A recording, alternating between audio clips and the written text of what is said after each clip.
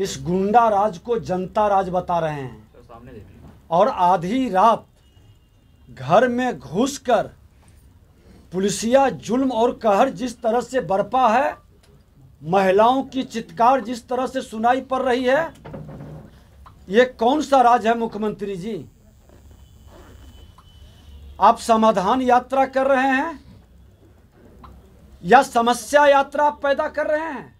नमस्कार, आप news foundation देख रहे हैं। मैं हूँ आपके साथ वंदना। नीतीश जी, जंगल राज से जनता राज बताकर आपने गुंडा राज में बिहार को तब्दील कर दिया है।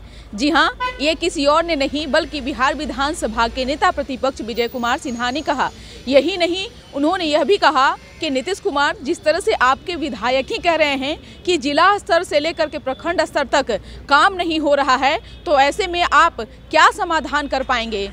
और भी कई ऐसे सवाल पर विजय सिन्हा ने नीतीश कुमार को- पर जमकर हमला बोला है। छोड़े जाते हैं उन तमाम वीडियो के साथ। जिस तरीके से देखिए माननीय मुख्यमंत्री जी इस गुंडा राज को जनता राज बता रहे हैं। और आधी रात घर में घुसकर पुलिसिया जुल्म और कहर जिस तरह से बरपा है महिलाओं की चित्कार जिस तरह से सुनाई पड़ रही है ये कौन सा राज है मुख्यमंत्री जी?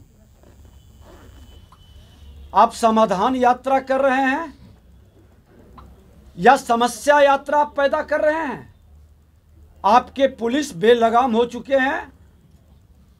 किसानों की अपनी मुआवजे की मांग करना और कंपनी के लोगों के साथ मिलकर ये भ्रष्ट पदाधिकारी, कंपनी के चांदी के जूते की चमक में ये दमन कर रहे हैं आम जनता को। धिक्कार है इसी सरकार को, जो गरीब, कमज़ोर, लघु, सीमांत किसानों पर अत्याचार करे। उसके ज़मीन की मुआवजा देने की बजाय आधी रात में घुस करके उसके बहू बेटी के साथ इस तरह से अत्याचार करे, ये कतई स्वीकार नहीं है बिहार की जनता को। और इस तरह का दमनकारी नीति का हम विरोध करते हैं, घोर भर्तरसना करते हैं और माफ़ी मांगे ये सरकार और उस अफसर पर इमीडिएट कार्रवाई करे, किसानों को मुआवजा दे और जिस कंपनी के भ्रष्ट लोगों की मानसिकता से ये तो वहाँ का वीडियो वायरल हो गया, अधिकतर जगह जो प्राइवेट कंपनी सरकार के टेंडर और सरकार के कार्यों का लेता है, वो पुलिस को मिलाकर, पुलिस को पैसे खिलाकर किसानों की और वहाँ के स्थानीय नौजवानों को दमन करता है, शोषण करता है। ये दमन और शोषण बंद करे बिहार के अंदर। नहीं तो यहाँ के नौजवान उठेंगे और फिर आपके दमनकारी नीति का अंत करने का एक नया शुभारंभ करेंगे। बिहार शक्ति की धरती है और कोई शक्ति से बिहार के नौजवानों को डरा नहीं सकता। आप जो अत्याचार अपने अहंकार में और सत्ता के मंत्र मुग्धता में मुख्यमंत्री उप मुख्यमंत्री जी, जो खेल खेल रहे हैं भ्रष्टाचारियों के साथ बैठकर, ये बंद करिए। ये कतई नहीं चलेगा बिहार के अंदर। मैं खुला चुनौती देता हूँ कि आप मधुबनी मिथिला के पवित्र धरती पर गए हैं। उस मिथिला के पवित्र धरती को अपवित्र मत करिए।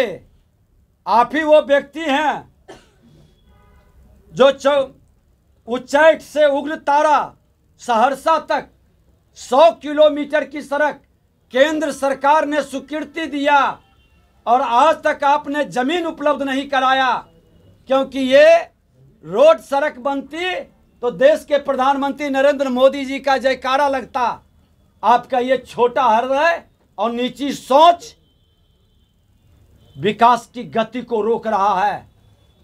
पूछिए उन मंत्री जो हस्तिनापुर के गुलाम बन करके साथ चल रहे हैं, जवाब दें कि आज लोहट, सहित सकड़ी, रयाम चीनी मिल क्यों बंद हो गया? जंगल राज में जब बड़े भाई लालू प्रसाद यादव का आतंक था, ये चीनी मिल बंद हो गया। हज़ारों लोग बेरोजगार हो गया। जब एनडीए की सरकार हुई, भारत सरकार के पहल पर हमारे उद्योग मंत्री, जब वहाँ पर इथेनॉल की फैक्ट्री लगाने का कार्य शुरू किए, उस प्रोजेक्ट को आपने क्यों रोक दिया? अगर जो वो प्रोजेक्ट चालू होता तो पच्चीस हज़ार लोगों को नौकरी मिलती और सवा लाख लोगों को स्वरोजगार का अवसर मिलता। कौन जिम्मेवार है मुख्यमंत्री जी? ये जंगल राज से जनता राज बताकर गुंडा राज पहुँचा रहे हैं। ये समाधान यात्रा है, या व्यवधान विकास की पैदा कर रहे हैं, उस नौजवान का पलायन शुरू हुआ। वही जंगल राज में सबसे ज़्यादा मिथिला के क्षेत्र से लोग पलायन किए। देश के अंदर जाकर के अपनी रोजी रोज़गार और भविष्य की तलाश में हर समाज के लोग उसमें हैं। को हर जात के लोग हैं। दलित, शोषित, पीड़ित, अति पिछड़ा पिछड़ा, अगड़ा सब समाज के लोग पलायन किया। मुख्यमंत्री जी, आपके बड़े भाई, छोटे भाई के तैतीस साल के पीरियड में पलायन नहीं रुक सका, क्योंकि आपकी नीयत में खोट है। आपकी नीति सफल नहीं हो रही है।